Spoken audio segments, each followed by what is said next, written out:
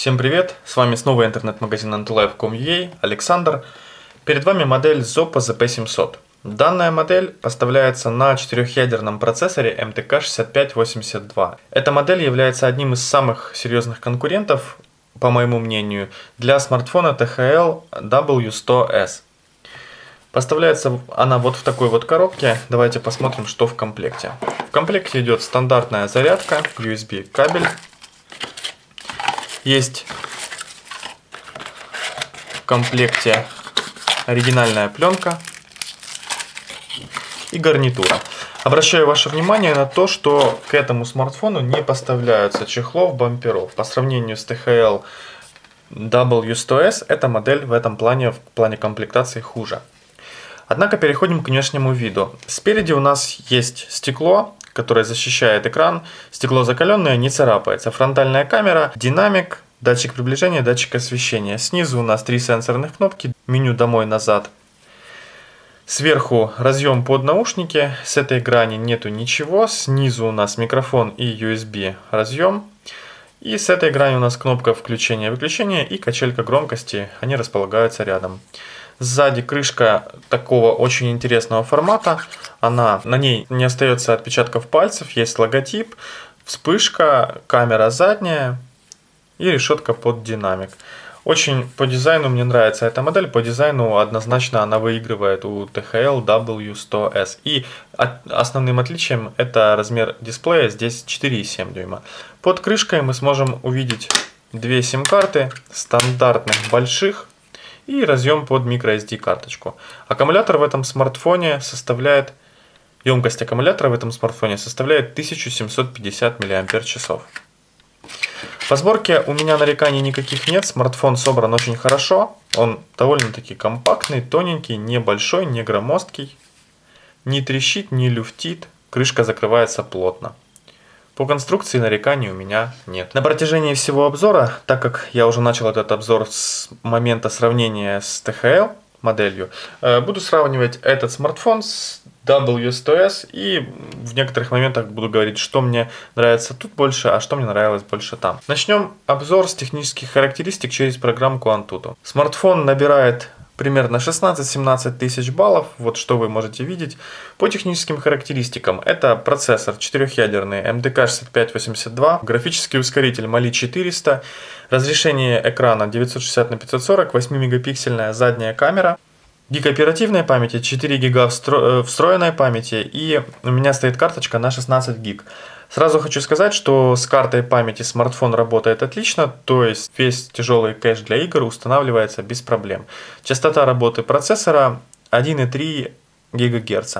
В целом, по техническим характеристикам, эта модель полностью идентична как THL W100S.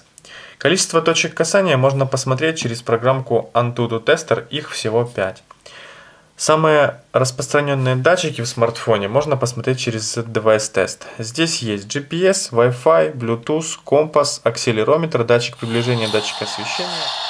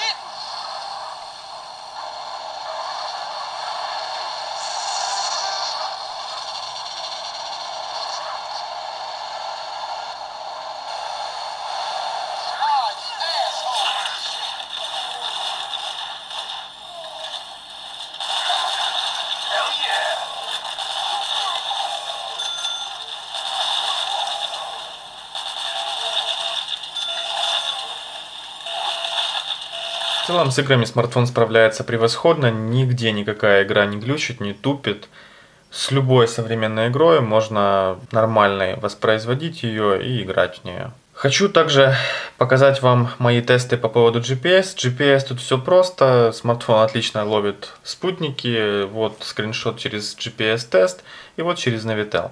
По поводу аккумулятора я также проводил тесты, э, давайте смотреть, что у меня получилось. Antutu тестер у меня выдал великолепные 690 баллов для такого смартфона. Далее я тестировал эту модель через игру.